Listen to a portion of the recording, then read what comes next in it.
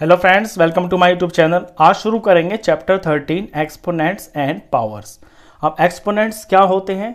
ये देखिए, जैसे कोई हमारे पास नंबर है लेट सपोज़ ये फाइव है। हम फाइव की पावर फोर लगाते हैं। ये पावर होती है जो हम ऊपर लिखते हैं, इसे पावर बोलते हैं, इसे एक्सपोनेंट भी बोलते हैं। तो ये जो, जिसके ऊपर ये पावर लगाई जाती है, इसे बोलते हैं हम बेस तो यहाँ पे बेस फाइव है। और ये जो इसकी पावर फोर है, इसे हम एक्सपोनेंट बोलते हैं। एक्सपोनेंट और इसे हम जब रीड करते हैं तो बोलते हैं five raise to power of four five raise to power four यानी फाइव की पावर फोर है। अब इस बात का ये मतलब है कि ये जो फाइव है, ये चार बार मल्टीप्लाई हो रहा है खुद से। Five into five into five into five ये इसकी एक्सपेंडेड फॉर्म है और ये इसकी पावर फॉर्म है, यानी इसको हम एक्सपोनेंशियल फॉर्म बोलते हैं। जब कोई भी चीज़ इस तरह से लिखी होती है पावर की फॉर्म में तो इसे हम बोलते हैं एक्सपोनेंशियल फॉर्म। एक एग्जांपल और देखिए, जैसे two raise to the power three. तो ये एक्सपोनेंशियल फॉर्म है। Exponential form. और इसे जब हम खोल के लिखेंगे तो लिखेंगे two into two into two. Two की पावर थ्री है ना तो टू को तीन बार मल्टीप्लाई करेंगे। ये इसकी एक्सपेंडेड फॉर्म है। एक्सपेंडेड फॉर्म अब इसके अंदर सेकंड जो टॉपिक आता है, वो ये है कि किसी भी नंबर को हम एक्सपोनेंशियल फॉर्म में कैसे लिखेंगे। लेट सपोज़ एक नंबर लेते हैं हम। हम लेते हैं 512 अभी एक होल नंबर लिखा हुआ है। इस 512 को हमें एक्सपोनेंशियल फॉर्म में लिखना है। यानी उसमें एक बेस दिखाया जाएगा और उस बेस की पावर दिखाई जाएगी कि कितनी होगी। उसके लिए तरीका ये होता है कि नंबर के आपको निकालने होते हैं प्राइम फैक्टर्स तो इसके हम प्राइम फैक्टर्स निकालते हैं। ये पीछे टू है तो ये टू से डिवाइड हो जाएगा। तो टू से हम इसे डिवाइड करेंगे तो ये टू हंड्रेड फिफ्टी सिक्स आएगा। अब पीछे सिक्स है तो ये भी टू से डिवाइड हो जाएगा। इसे टू से डिवाइड करेंगे तो वन हंड्रेड ट्वेंटी एट आएगा। पीछे एट है तो ये भी टू से डिवाइड हो जाएगा। ये सिक्सटी फोर हो जाएगा। सिक्सटी फोर टू से डिवाइड हो जाएगा थर्टी टू आ जाएगा। थर्टी टू टू से डिवाइड हो जाएगा सिक्सटीन आ जाएगा। सिक्सटीन टू से डिवाइड हो जाएगा, ये एट आ जाएगा। एट भी टू से डिवाइड हो जाएगा, ये फोर हो जाएगा। ये फोर टू से डिवाइड हो जाएगा टू आ जाएगा। और ये टू टू से डिवाइड होके वन आ जाएगा। तो अब यहाँ पे देखा हमने कि 512 को हमने जब इसके प्राइम फैक्टर्स निकाले तो ये टू आ गए यहाँ पे बहुत सारे। तो ये टू काउंट कर लेते हैं हम। One two three four five six seven eight nine यानी इसके अंदर जो टू है, वो नाइन टाइम्स मल्टीप्लाई हो रहा है। तो two raise to the power nine two की पावर नाइन के बराबर ये फाइव हंड्रेड ट्वेल्व है। तो ये हो गई है इसकी एक्सपोनेंशियल फॉर्म ऐसे आप किसी भी नंबर की एक्सपोनेंशियल फॉर्म निकाल सकते हैं। यहाँ सारे के सारे ये टू ही आए हैं, लेकिन कुछ और भी आ सकते हैं। ऐसा भी कोई नंबर आ सकता है जिसमें two into two into two हो और इंटू थ्री इंटू थ्री हो। तो उस केस के अंदर जितनी बार टू है, यहाँ पे तीन बार है ना तो टू की पावर थ्री हो जाएगा। और यहाँ पे थ्री जैसे दो बार आ जाए अगर किसी के प्राइम फैक्टर्स में तो यहाँ तीन बार दो है। ये जो तीन है, ये दो बार है तो तीन की पावर दो हो जाएगा। तो ये इसकी एक्सपोनेंशियल फॉर्म हो गई है। चलिए, इसके बाद जो सबसे इंपॉर्टेंट टॉपिक इस चैप्टर के अंदर आता है, वो है लॉज ऑफ़ एक्सपोनेंट्स एक्सपोनेंट्स के कुछ लॉज होते हैं, कुछ रूल्स होते हैं, जिनके अकॉर्डिंग हम क्वेश्चंस को करते हैं। तो पहला लॉ देखिए, पहला लॉ क्या होता है? फ़र्स्ट लॉ होता है, अगर किसी बेस कोई दो बेस हैं वो सेम है, जैसे कि ए इंटू ए अब ये बेस हो गया और ये मल्टीप्लाई में है और इनकी कुछ पावर है। इसकी पावर एम है और इसकी पावर एन है। तो यहाँ पे बेस सेम है और मल्टीप्लाई में है तो पावर्स ऐड हो जाती है।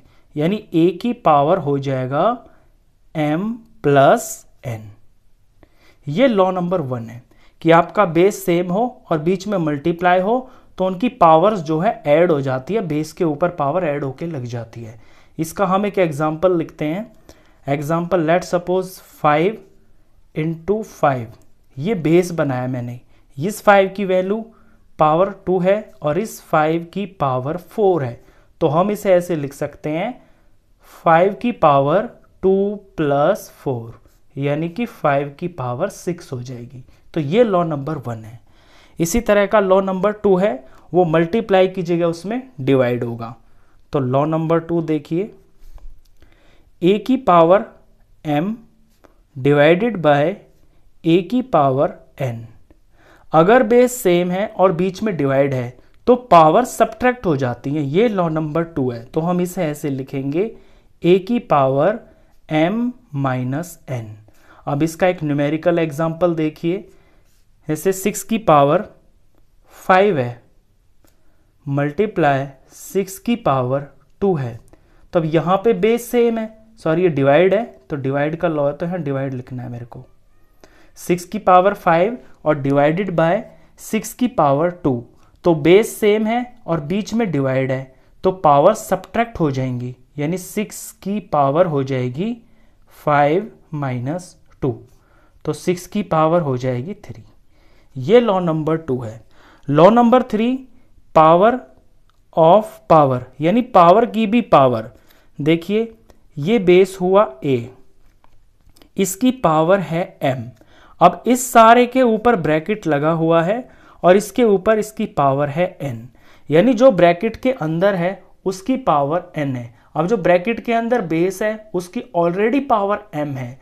तो इस केस के अंदर ए की पावर एम मल्टीप्लाई एन हो जाता है तो ए की पावर हो जाएगा एम मल्टीप्लाई एन यानी इसे हम ऐसे लिख सकते हैं ए की पावर एम एन अब इसका एक न्यूमेरिकल एग्जांपल देखिए, जैसे टू है बेस इसकी पावर थ्री है, और इसके ऊपर लगा हुआ है ब्रैकेट और इस सारे की पावर फोर है तो ये हो जाएगा टू की power three multiply four power multiply हो जाती है। बेस पावर के ऊपर पावर हो तो पावर मल्टीप्लाई हो जाती है। तो ये हो जाएगा टू की पावर थ्री, फोर, ज़ा, ट्वेल्व। ये लॉ नंबर थ्री हुआ। लॉ नंबर फोर देखिए। फोर्थ लॉ के अंदर क्या है? जैसे बेस तो है आपका ए और इसकी पावर है एम और मल्टीप्लाई है और दूसरा बेस ए नहीं है, कुछ और है। बी है और इसकी पावर भी एम ही है। तो यहाँ पे क्या हो रहा है कि बेस तो डिफरेंट है, लेकिन पावर सेम है और बीच में मल्टीप्लाई है। तो इसका सिंपल सा लॉ हो जाएगा कि a इंटू बी और पावर क्योंकि दोनों की ही पावर m है तो इनकी कॉमन पावर m हो जाएगी।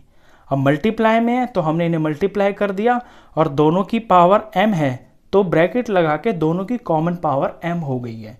तो इसे हम ऐसे भी लिख सकते हैं, ए बी चिपका के और इसकी पावर एम। अब इसका एक एग्जांपल देखिए, जैसे हम इसको लिख देते हैं, टू की पावर, एक न्यूमेरिकल एग्जांपल देखिए, टू की पावर फोर है और मल्टीप्लाई थ्री की पावर फोर है। अब यहाँ पे बेस अलग है, ये बेस टू है, ये बेस थ्री है, बीच में मल्टीप्लाई है, लेकिन पावर इनकी सेम है। तो हम इसे ऐसे लिख सकते हैं, टू मल्टीप्लाई थ्री और पावर इसकी फोर हो गई। तो टू थ्री जार हो गया सिक्स तो सिक्स की पावर फोर के बराबर ये हो जाएगा। ये लॉ नंबर फोर है। अब आते हैं लॉ नंबर फाइव पे। लॉ नंबर फाइव के अंदर भी यही है कि आपके बेस डिफरेंट होंगे और पावर सेम होगी, लेकिन बीच में मल्टीप्लाई की जगह डिवाइड होगा तो फिर क्या किया जाता है? जैसे ए की पावर एम है और डिवाइडेड बाय बी की पावर भी एम ही है। अब यहाँ पे बेस तो डिफरेंट है और पावर सेम है और बीच में है डिवाइड तो इसका हम जैसे मल्टीप्लाई में किया है सेम उसी तरह से हम इसका डिवाइड में भी करेंगे। ए को बी से डिवाइड किया जा रहा है ना तो हम इसे ए डिवाइडेड बाय बी की फॉर्म में लिख देंगे, यानी ए अपॉन बी और क्योंकि दोनों की पावर एम ही है तो ब्रैकेट लगा के ये कॉमन पावर इनकी एम हो गई। इसे हम इस तरह से लिख सकते हैं। इसका एक न्यूमेरिकल एग्जांपल देखिए, जैसे टू की पावर थ्री है डिवाइडेड बाय और दूसरा बेस मैं ले लेता हूँ फोर फोर की पावर थ्री है। अब बेस तो डिफरेंट है। पावर सेम है और बीच में डिवाइड है। तो पहले तो हम इन नंबरों को जो डिवाइड में हो रहे हैं, इनको डिवीज़न फॉर्म में लिख देंगे, अपॉन की फॉर्म में टू बाय फोर। अब क्योंकि दोनों की पावर थ्री ही है तो कॉमन पावर इनकी थ्री हो गई, यानी इन दोनों की ही पावर थ्री हो गई तो ब्रैकेट लगा के इस तरह से हम थ्री लगा देंगे। इस तरह से ये लॉ चलता है। चलिए, इसके बाद जो सबसे इंपॉर्टेंट चीज़ एक और है, जो सिक्स लॉ है, इसका लास्ट लॉ है, जो आपको हमेशा याद रखना है। वो ये है कि कोई भी नंबर हो, कोई भी बेस हो, जैसे यहाँ पे ए बेस है और इसकी पावर है ज़ीरो तो ये बराबर वन के हो जाएगा। यानी ए कोई बेस है बेस की पावर ज़ीरो है तो वो पूरा का पूरा वन के बराबर होगा। अब यहाँ ए की जगह चाहे कुछ भी हो एग्ज़ाम्पल लेते हैं हम, जैसे फाइव है फाइव की पावर ज़ीरो है तो ये सब कुछ वन के बराबर ही होगा। कोई और एग्ज़ाम्पल ले लेते हैं बड़ा सा।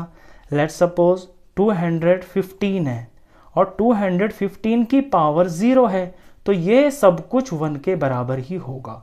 यानी किसी की भी पावर अगर ज़ीरो है ना तो वो सब कुछ वन के बराबर ही होगा।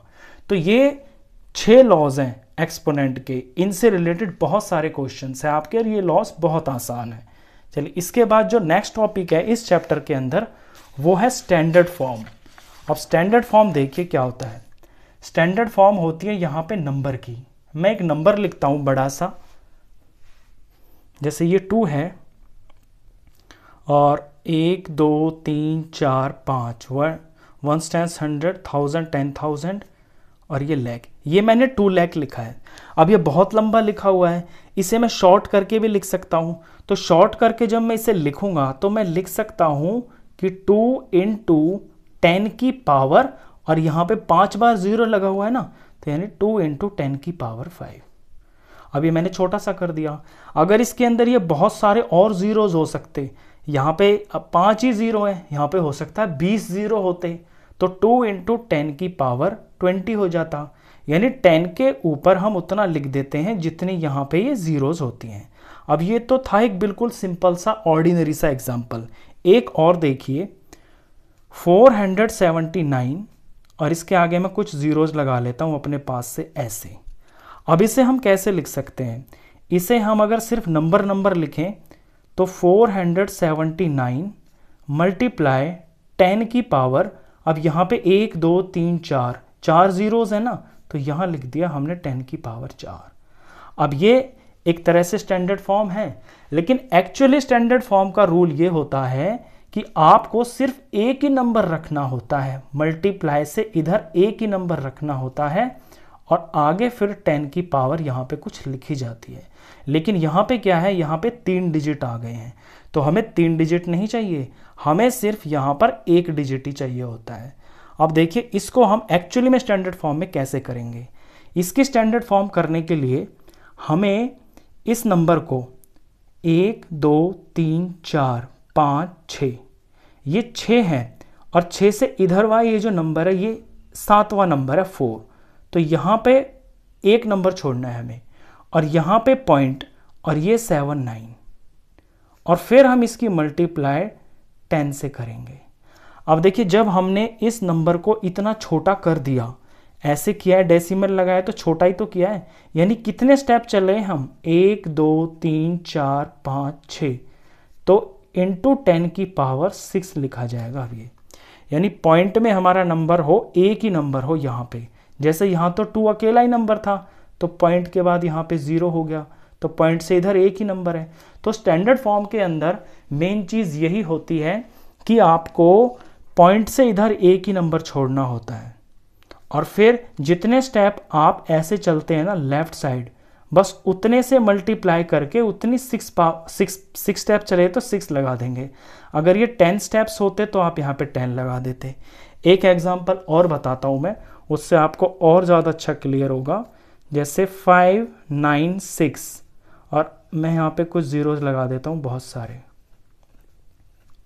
अब इसकी जो स्टैंडर्ड फॉर्म होगी ना, वो मल्टीप्लाई बीच में होगा जैसे यहाँ पे है। और नंबर यहाँ पे फाइव नाइन सिक्स है। तो नंबर को हम लिखेंगे five point nine six number हम इतना ही लिख सकते हैं क्योंकि पॉइंट से इधर हमें एक ही लेना है। बाकी पॉइंट का अगर कोई नंबर है तो वो आगे लिखा जाएगा। और ज़ीरोज़ को हम यहाँ पे लिखेंगे नहीं। ज़ीरोज़ को हम लिखेंगे टेन की फॉर्म में, ऐसे। अब जीरोज यहाँ पे एक, दो, तीन, चार, पाँच छ सात, आठ। आठ तो ये जीरोज हो गई हैं। अगर ये सिर्फ़ जीरोज ही होती तो हम टेन की पावर यहाँ एट लगाते, क्योंकि यहाँ पे आगे एट टाइम्स हो रहा है ये मल्टीप्लीकेशन टेन का। लेकिन हमने दो स्टेप और इधर गए हैं। यानी इसको जब हमने डेसिमल में बनाया है तो बहुत छोटा नंबर कर लिया है पॉइंट में तो दो स्टेप और गए हैं ना। तो इसको इंटू टेन की पावर टेन से मल्टीप्लाई करना पड़ेगा, क्योंकि यहाँ पे डेसिमल लगाया है। आप समझिए कि यहाँ पे डेसिमल है। तो इस डेसिमल को हटाने के लिए एक, दो, तीन, चार, पाँच छ सात, आठ, नौ, दस, यानी टेन की पावर टेन हमको चाहिए। तब जाके ये चीज़ जो है, इसके बराबर बनेगी। तो ये बेसिकली स्टैंडर्ड फॉर्म है। ये बहुत आसान है। बस याद आपको इसमें ध्यान देने की दो ही बातें हैं। पहली बात कि पॉइंट से इधर आपका एक ही नंबर होना चाहिए।